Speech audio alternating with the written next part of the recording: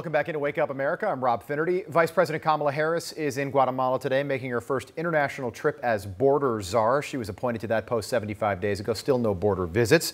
Tomorrow she will meet with the president of Mexico, but again, not at the border. Joining us now to talk more about what's going on down there, the former acting Border Patrol Commissioner Mark Morgan is with us, and the editor at large of the Impunity Observer, and a resident of Guatemala, where the vice president is today, Stephen Hecht, with us this morning. Gentlemen, good morning to both of you. Nice to see you. Nice to be back with you, Rob.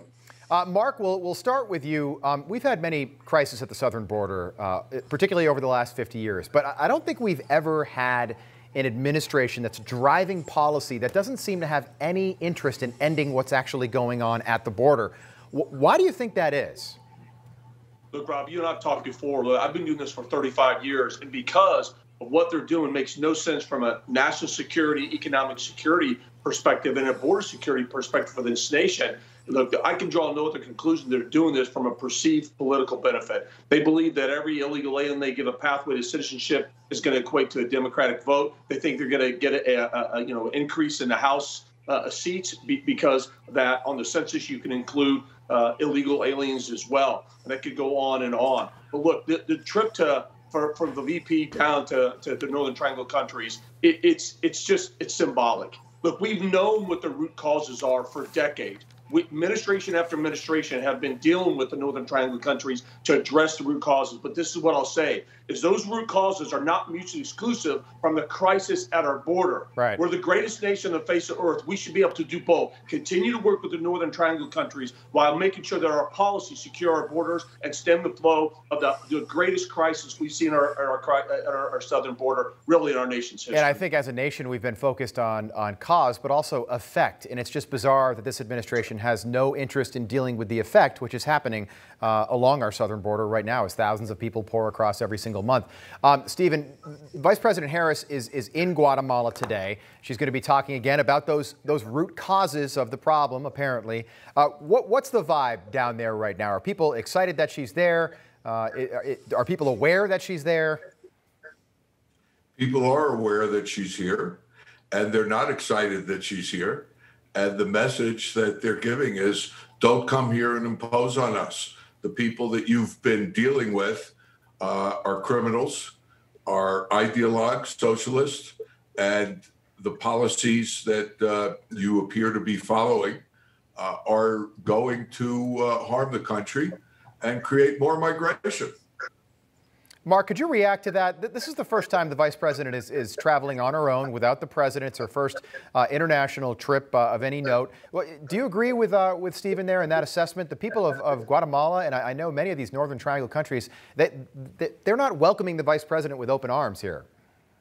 Stephen is absolutely right. Look, I've been there. I've traveled to all three countries in the Northern Triangle country. I talked to my counterparts as the, the acting commissioner of Customs and Border Protection. I talked to leaders of those worlds, uh, of each one of those countries. And look, here's one thing each of them said independently please, United States, fix your broken immigration system. Stop encouraging and, faci- and facilitating our uh, our citizens, the future of our country, leaving our country. Stop encouraging our, our 16, 17 year olds from leaving our country hmm. and going to the United States. That's exactly what we did under the Trump administration. Look, another uh, point of distraction that this administration w- wants to put out to the American people, like like we weren't working with the Northern Triangle countries. We were. We had actually secured unprecedented agreement, and not just on immigration, but but their border security, internal security. I could go on and on about the incredible progress that we had made with the Northern Triangle countries that this administration, with a stroke of a pen,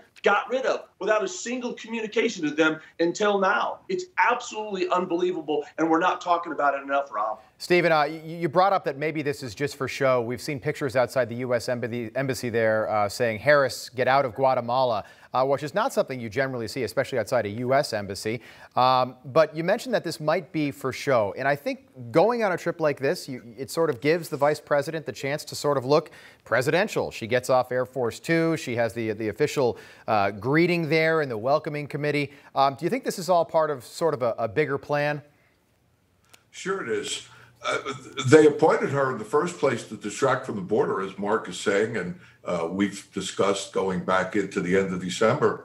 uh, the, the Biden administration is purposely pulling people to the United States. Yeah. And by uh, sending, uh, naming Harris as border czar, they're essentially saying, we're going to fix the problem at its root.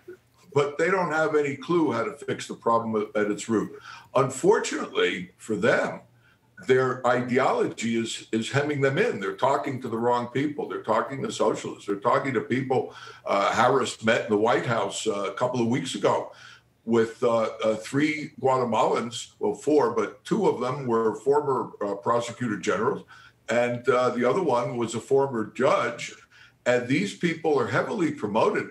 Uh, two of them have arrest warrants. The other one couldn't come back here. That's a good point. And, yeah. and, and, and they are in the United States. And these are the people. This message to Guatemala is a devastating message.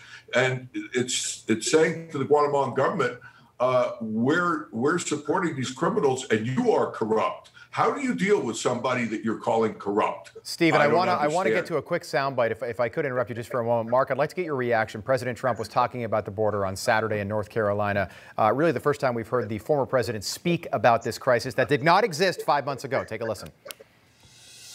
We gave the new administration the most secure border in U.S. history. We had the most secure border in the history of our country, and that included drugs, that included human trafficking, which is a magnificently horrible and big business.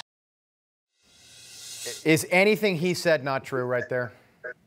Everything the president said is absolutely spot on. I will say this, and I will continue to say this, Rob.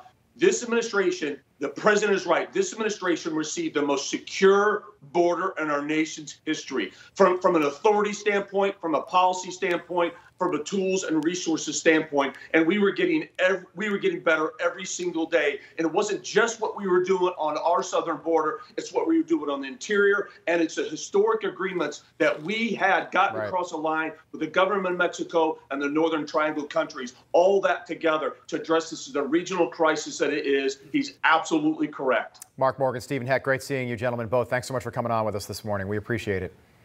You Thank bet. you very much, Rob. All right, stay with us. A lot more Wake Up America coming up after the break. We'll be right back.